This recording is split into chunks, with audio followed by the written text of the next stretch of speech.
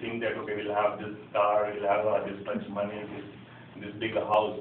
But we increase the size of our dream, but are we going to increase the size of our work ethic? So if we are not going to increase, there we are going to fail.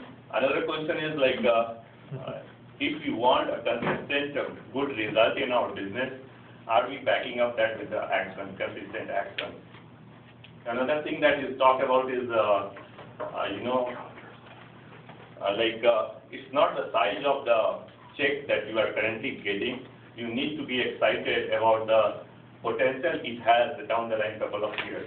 So with that, I am done and I highly encourage you to listen. All right. Awesome!